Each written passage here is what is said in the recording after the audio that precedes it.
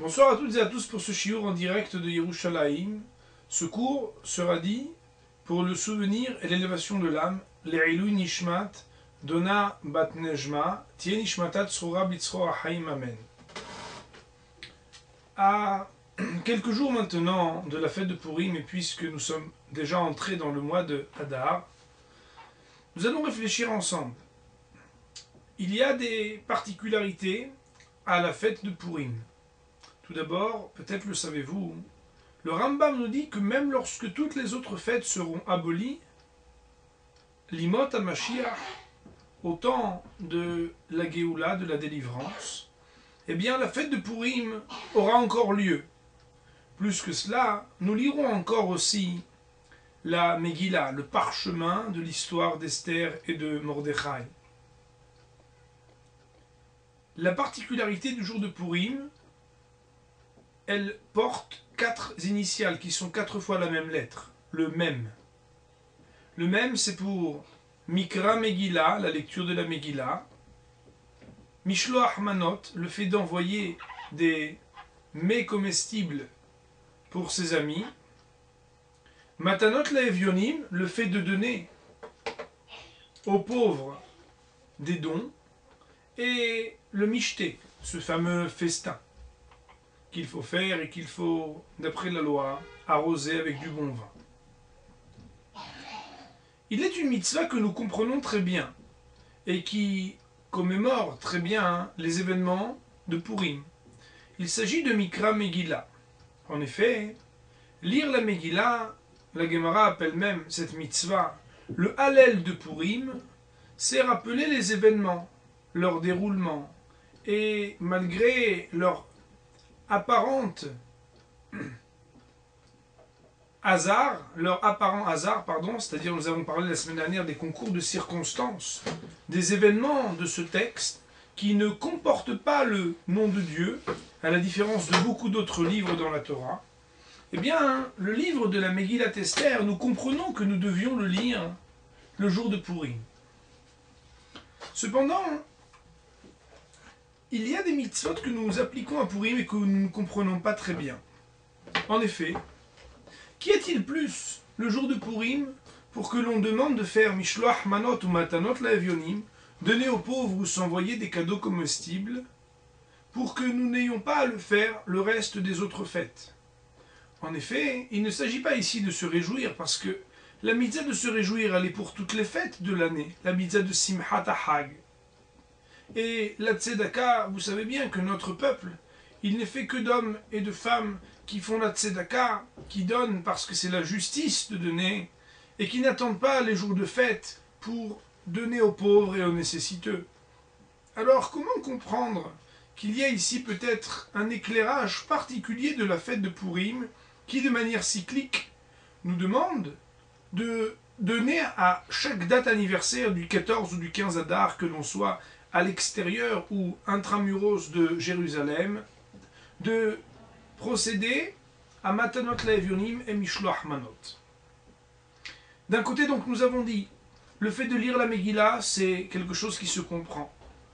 D'autre part, eh bien, nous n'avons pas cité, mais cela va de soi, le Mishté aussi, le fait de procéder au festin, c'est quelque chose qui a à voir avec la fête de Pourri, car nos sages demandent pourquoi est-ce qu'on a eu un mauvais décret sur nous? Qui, Baruch Hashem, s'est retourné à notre avantage. Mais pourquoi avons-nous eu ce mauvais décret? Bien tout simplement. Non pas parce qu'on s'est assis à manger à ce festin, mais écoutez bien, hein, parce que Nehenu. Nous avons été heureux et nous avons trouvé profitable d'être avec des non-juifs à table dans un festin qui était pourtant animé par Assuérus en présence d'Aman. Alors pour corriger ce festin qui n'était pas à sa place, il va falloir festoyer, et festoyer bien comme la Torah nous le demande, avec des livrets Torah, avec des livrets Hizouk, de bonnes paroles. Donc maintenant, eh bien, nous allons réfléchir ensemble pour comprendre les raisons de ces deux mitzvot apparemment non spécifiques à la fête de Purim, et pourtant eh bien, qui nous sont prescrites qu'à cette date de la fête de Purim. Et matanot Vous le savez certainement, dans le Talmud, on nous dit que celui qui dit le plus de la Shonara et le meilleur la Shonara sur le peuple juif, c'était Aman. Je vous cite l'adage de nos sages. Amar Rava, Rava nous dit Les cas de Yada Aman. Aucun être au monde ne sait dire du Lachonara sur le peuple juif, de la médisance sur le peuple juif, comme Aman le Rachar, le personnage le pire de cette Megillah. Et nos sages, puisque ce soir nous nous appuyons sur le commentaire du Rav Friedlander, nous disent que le Lachonara, ça n'est pas du mensonge, parce que le mensonge porte un autre nom, Motzi Shemra, ou bien Sheker. Si l'on parle de Lachonara, c'est que Haman a su, lorsqu'il s'est exprimé en mal contre le peuple juif, toucher un point faible, qui était négatif, mais véridique, authentique, quand il a parlé des défauts du peuple juif. Comme vous le savez, dire le Lachonara, ça n'est pas seulement lorsqu'on dit des choses qui sont fausses, mais même lorsqu'on dit des vérités, lorsqu'elles sont nuisibles et non constructives, eh bien, on aurait mieux fait de se taire, d'après la halacha. Aussi, il nous faut regarder plus profondément dans les mots qui sont utilisés par Aman pour trouver ici la clé qui va nous faire entendre le message de Purim. Et écoutons donc. Aman s'adresse à Assuérus et parlant du peuple juif, il lui dit ben Il y a un peuple. Ehad, on pourrait dire un ou uni, nous allons voir comment comprendre. Mais Fuzarum Furad Ben Aramim, qui est éparpillé, qui est dispersé parmi les peuples. Et le Midrash nous donne un commentaire très spécial là-dessus. Il nous dit Yeshno Am Ehad, eh bien, on ne parle pas du peuple juif. Yeshno, en Lashon Kodesh, cela veut dire il y a. Mais Yeshno, ce sont les mêmes lettres que le mot Yoshen, c'est-à-dire le fait de dormir. Et le Midrash va nous dire que Akadosh Baruchu, qui est Ehad, Yeshno Am Ehad, Dieu qui est Ehad, il dort lorsqu'il devrait être proche de son peuple. Yeshno Aim Amehad.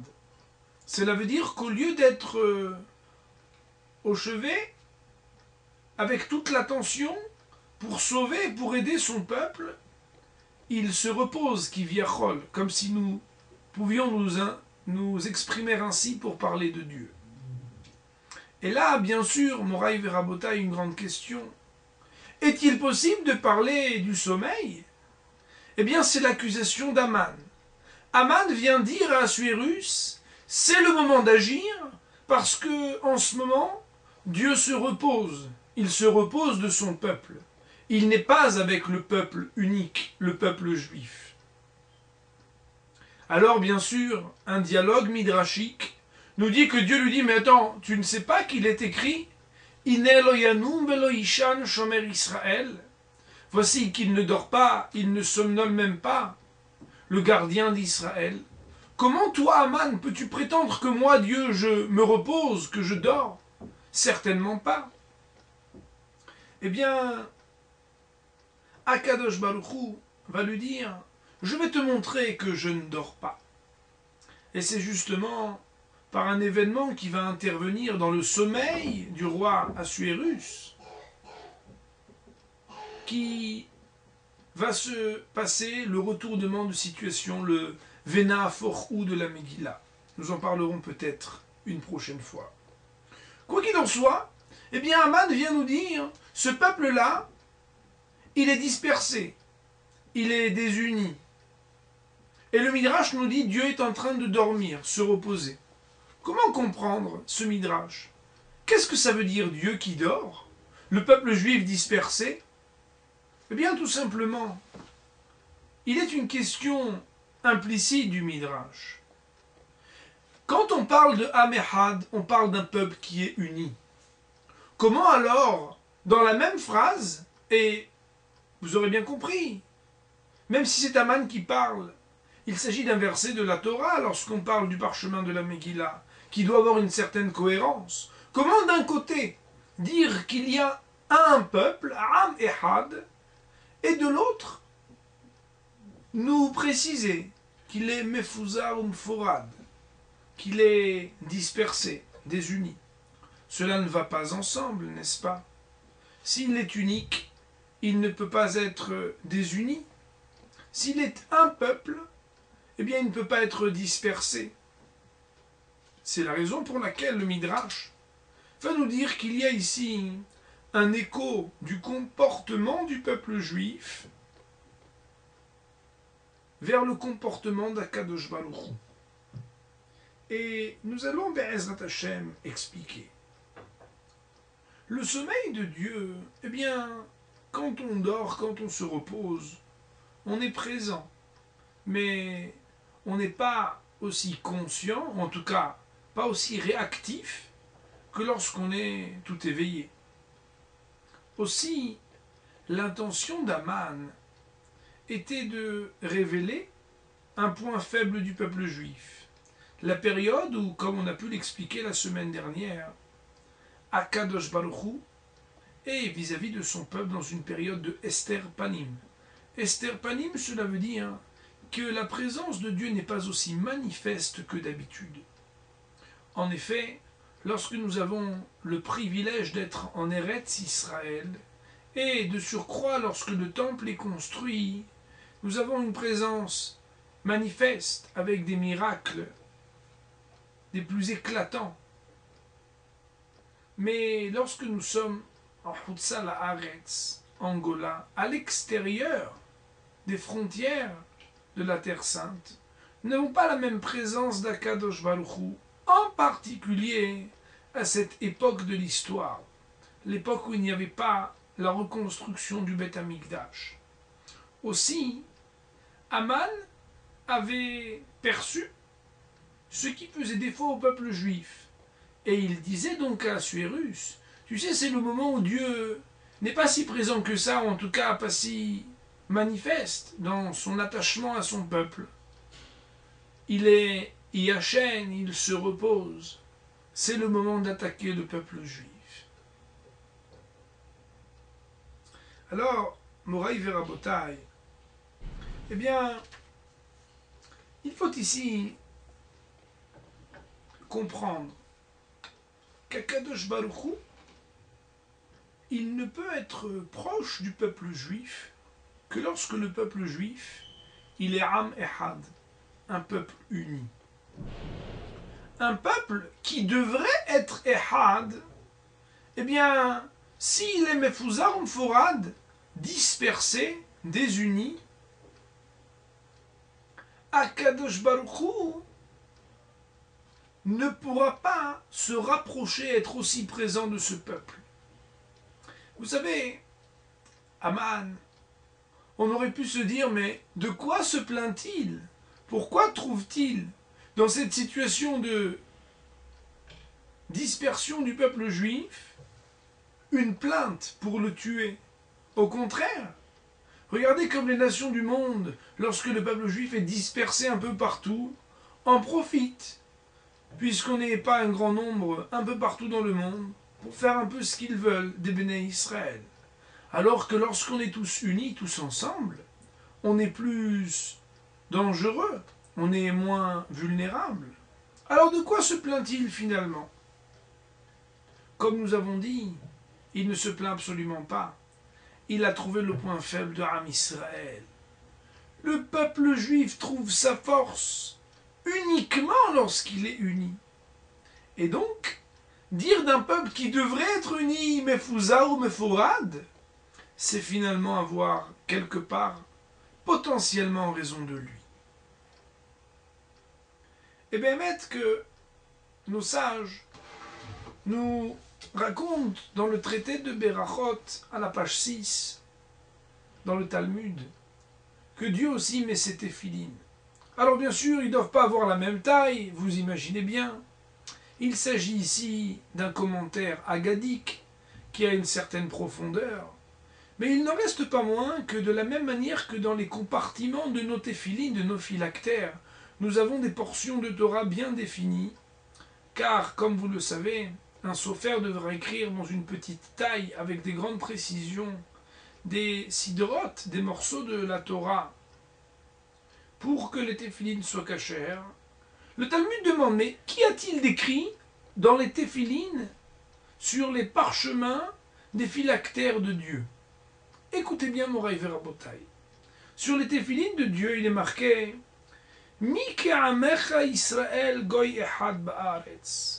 Qui est comme ce peuple d'Israël sur terre? Goy ehad, un peuple uni et unique. Akadosh Baruchou, lorsqu'il loue quelque part, c'est-à-dire lorsqu'il exprime son appréciation et son attachement au peuple juif, lorsqu'il parle de la caractéristique de son peuple, il dit que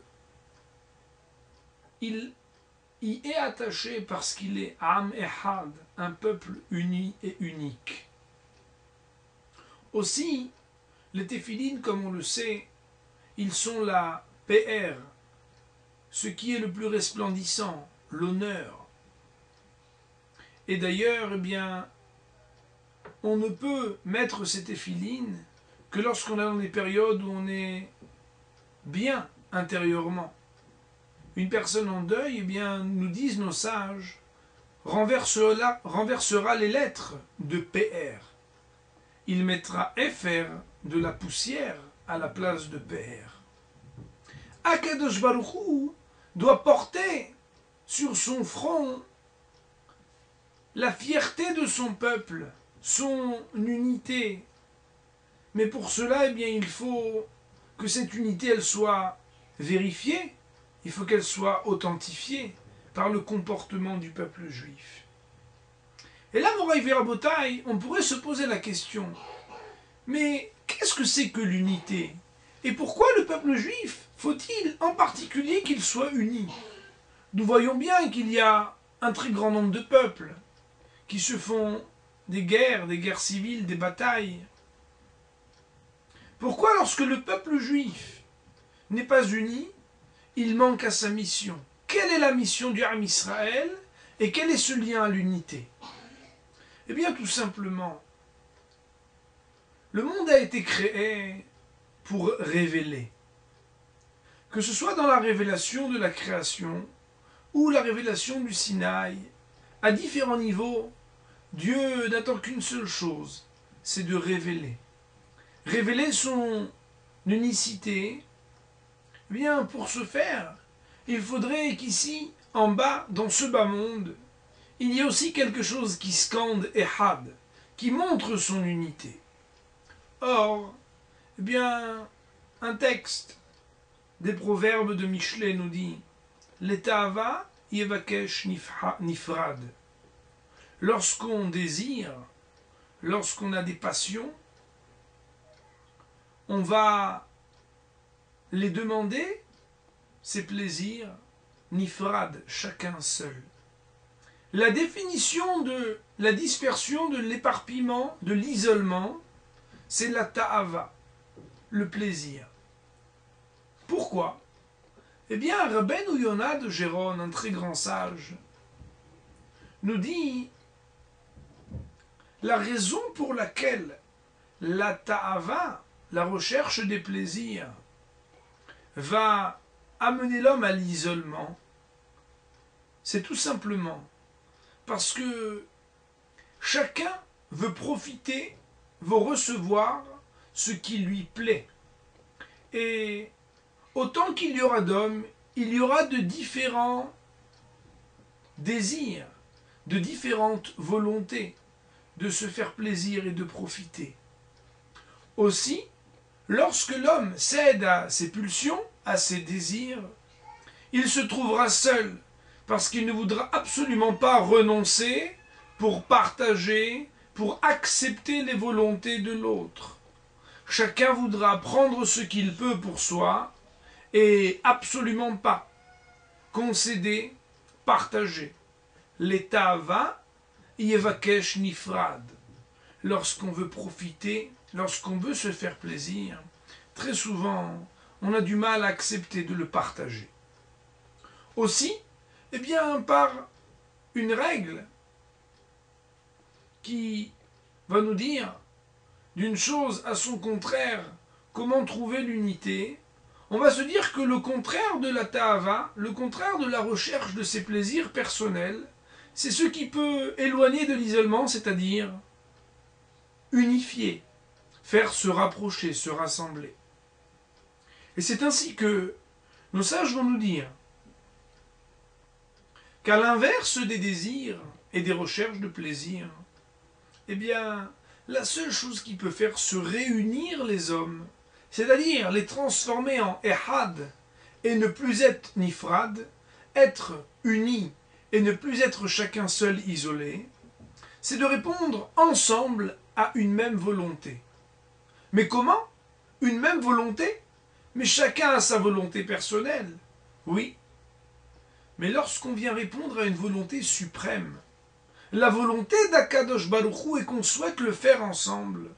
Nous pourrons être les meilleurs amis du monde, nous pourrons devenir Ehad, unis tous ensemble. Et bien, que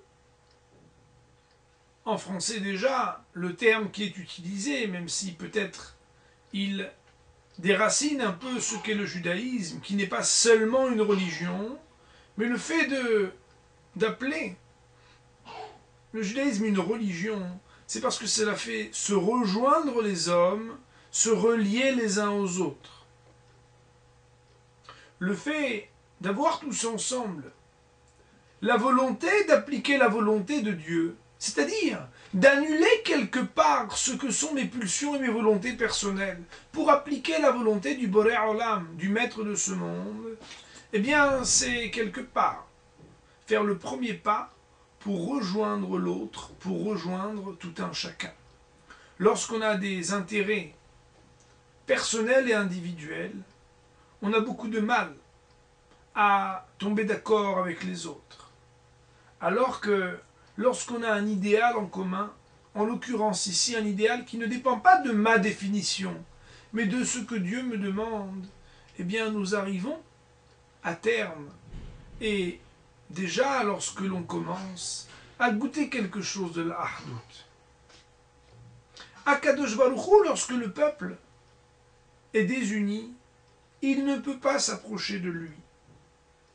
D'ailleurs, vous le savez bien, la question de Jacob, de Yaakov, lorsque ses enfants sont autour de lui juste avant sa mort, c'est de leur dire, peut-être qu'il y a un d'entre vous qui n'a pas la même préoccupation. Voilà qu'Abraham a eu deux enfants, Yitzhak et Ishmaël. Yitzhak a eu deux enfants, Yaakov et Esav. Il y a eu un bon et un mauvais. Peut-être que parmi mes enfants, moi aussi, Yaakov, il y a peut-être des enfants qui n'ont pas les mêmes convictions que moi. Et là, ils lui dirent tous, pour le rassurer, Shema Israël, Hashem Elokeinu Hashem Echad. Écoute, Israël, ici, surnom de Jacob après ce combat avec l'ange, Hashem Elokeinu Hashem Echad. Dieu est unique, il est un. En cela, tu n'as pas à t'inquiéter. La suite du Midrash, on la connaît, c'est qu'il a pu dire Baruch Shem Kevod Malchuto et quitter ce monde, rassuré de voir qu'ils étaient tous unis, parce qu'il n'y a que lorsque l'on est tous unis pour Akadosh Baruchou qu'on est véritablement Ehad. C'est uniquement lorsqu'on peut dire ensemble Hachem Ehad qu'on révèle qu'ensemble on ne fait qu'un. Et bien, qu'à la révélation pardon, du Sinaï, le peuple juif, Vaïhan, c'était au singulier qu'on parlait du peuple. Il était réunis tous ensemble. Ce fameux commentaire de Rachi qui disait d'un seul cœur, un seul peuple, c'était la condition sine qua non de la révélation. Le peuple est réuni et Dieu se révèle. Alors, peut-être maintenant nous allons comprendre, Moraï Verabotai, la raison pour laquelle nous donnons les Mishlohem Anot. Et peut-être, pour donner cette réponse, nous allons raconter que dans la Gemara, dans le Talmud, on nous raconte une histoire. On nous dit que Abaye, le fils de Avin, et Rav Hanina Baravin, donc a priori deux frères, avaient l'habitude d'interchanger leurs seroudot, c'est-à-dire leurs repas de Purim. Plusieurs explications sont données. Et il y a le commentaire de Rachi qui nous dit une année, un allait chez l'autre, et l'autre année, c'est l'autre qui allait chez l'un pour passer avec lui le festin de Purim. C'est ainsi, nous disent nos sages, qu'ils étaient acquittés de la mitzvah de Mishloach Manot, de donner des manot, c'est-à-dire d'envoyer des mets comestibles. Seulement, vous savez bien qu'il y a un problème dans cette histoire, parce que une année sur l'autre, ça veut dire qu'il y en avait un qui ne faisait pas la mitzvah. Le premier invite le second, il mange chez lui, il lui offre à manger, et l'année d'après seulement, c'est le deuxième qui reçoit. Dans ce cas-là, eh bien, chaque année, il n'y en a qu'un qui fait la mitzvah. Écoutez bien la réponse extraordinaire que nous donne le Bach. Et je crois que c'est ici le secret de tout ce que renferme la fête de Purim. Quelle est la raison pour laquelle on donne les Mishlohem Anot et les Matanot Le'evionim Tout simplement, c'est parce que lorsque l'accusation d'Aman était de mettre le doigt sur le point faible du peuple juif, qui le rend vulnérable, c'est lorsqu'on n'est pas uni. Eh bien, tout d'abord, Esther a dit Lech Kanes et Kol Yehudim Va donc et rassemble tout le peuple juif. Elle dit à son oncle Va donc les rassembler. Et c'est ainsi qu'ensemble, eh bien, le verset va être écrit au singulier. Comment? On va nous dire Nik alou ve'amod al nafsham.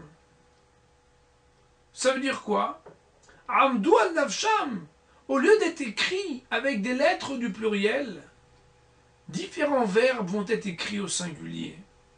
Amod, comme s'il était tout seul, une seule personne, pour parler du peuple tout entier. Kibel, au lieu d'être écrit Kibelou, pour parler du peuple comme s'il était au singulier alors qu'ils étaient des milliers. Pourquoi? Le Gan de Vilna nous dit Esther avait bien compris et avait donné le bon conseil à son oncle Mordechai. Lorsque l'accusation et les dangers qui pèsent sur le peuple juif sont dus à sa dispersion, au fait qu'il ne soit pas uni, le seul moyen d'arriver à avoir une révélation et une hatsala, un sauvetage de Dieu, même en exil, même dans la galoute, c'est de faire le contraire de cette accusation, c'est de se réunir. Le peuple juif se réunit et lorsqu'on parle de lui, on écrit ce qu'il est au singulier. Il est unique, il est uni, et il va même être sauvé. Mordechai, on l'appelle Yehudi. Yehudi, ce sont les mêmes lettres, puisque le Het et le He s'interchangent, que le mot Yehidi. Le Midrash va nous dire c'était l'homme qui pouvait faire l'unité, rassembler autour de lui le peuple. Alors, ces mitzvot de Mishloach Manot et de Matanot Laevionim qui ont été instituées, de donner et d'offrir, elles rejoignent le même concept, la même idée. C'est le rapprochement entre les béné Israël. Lorsque je donne à quelqu'un, il se rapproche de moi. Lorsque je veux d'ailleurs aimer quelqu'un, je dois m'investir et lui donner. Donner des Mishloach Manot, c'est offrir à l'autre quelque chose, me lier à lui, créer un lien d'unité. lorsque j'ai quelque chose à moi qui se retrouve chez l'autre, c'est que quelque part, il y a quelque chose de moi chez l'autre, et quelque chose de l'autre chez moi. En cela, nous créons l'unité. Se préoccuper des évionymes, ressentir plus encore le jour de Purim que les autres jours de l'année, le devoir de s'occuper des démunis, c'est quelque part se dire que la joie de Purim, elle n'est partagée que lorsque pour tout le monde il y a quelque chose à manger. Et ça, c'est fondamental, mon à Botaille.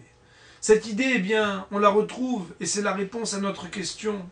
C'est vrai que ces deux rabbinim, qui étaient très très très très pauvres, ne pouvaient pas s'offrir l'un l'autre chaque année des Mishlohem Anot. Alors ils s'invitaient. Bien entendu, la halacha réclame que chacun d'entre les béné Israël envoie au moins une personne deux mets comestibles sur lesquels on prononce des bénédictions différentes. Mais en l'occurrence, ici, d'après le Bach, et même si cette opinion n'est pas retenue dans la halakha, l'idée est extraordinaire. C'est que, puisque c'est la seule manière qu'ils avaient de se rapprocher l'un de l'autre, et que le but de ces mitzvot, c'est le rapprochement de deux juifs pour l'unité dans le peuple, eh bien, puisqu'ils étaient ensemble à la même table, d'une année sur l'autre, ils sont arrivés au but de cette mitzvah, à la. Alors, chers amis, je voudrais vous dire que chaque année, à la date anniversaire d'une fête, on le sait bien, il y a le même éclairage. Aujourd'hui, le peuple juif est encore dispersé dans le monde. Et, Baravonot, il arrive parfois que même lorsqu'on est sur le même lopin de terre, il arrive parfois qu'il y ait quelques discordes, quelques divergences d'opinion. Nous avons les accusations d'Aman qui mettent le doigt sur notre point faible. Lorsque le peuple juif est uni, lorsqu'il est uni pour accomplir la volonté d'Akadosh il est invincible. Lorsque le peuple juif est ehad, alors celui qui est ehad ne dort pas. Lo shomer Israël. Il ne dort pas, il ne somnole pas, parce qu'il est le gardien d'Israël. À nous donc de réfléchir sur ces sujets, d'organiser des michtés où nous nous invitons tous ensemble, d'aller vers l'autre et de donner mishlohem anot, des biens, des mets comestibles pour partager et pour se rapprocher tous ensemble, se préoccuper des pauvres, pour donner matanot la evionim, parce qu'on a le devoir de se préoccuper que chacun ait de quoi manger et de quoi vivre dignement. Et très bientôt, Be'ezrat Hashem, même lorsque le Mashiach Tzidkenu arrivera, bimehera beyamenu, nous lirons encore cette Megillah tous ensemble. Non plus chacun dans sa synagogue, en Haaretz, ou bien en Eretz Israël, mais bel et bien à Yerushalayim, avec le Mashiach Tzidkenu, qui nous fera une très belle lecture. Bimehera beyamenu. Amen.